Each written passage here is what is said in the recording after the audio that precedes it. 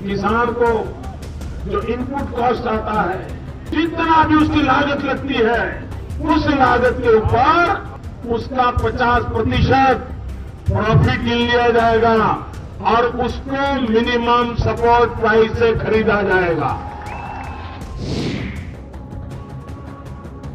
प्रधानमंत्री बनने के लिए मोदी ने किसानों को 50 फ़ीसदी समर्थन मूल्य बढ़ाने का ज़िक्र कर दिया।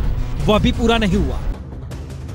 एक वादा आपका जो था कि जो कॉस्ट ऑफ़ प्रोडक्शन है, उससे 50 परसेंट ज़्यादा एमएसपी देंगे, वो पूरा क्यों नहीं हो पाया? वो पूरा होने का अभी समय भी पूरा नहीं हुआ है।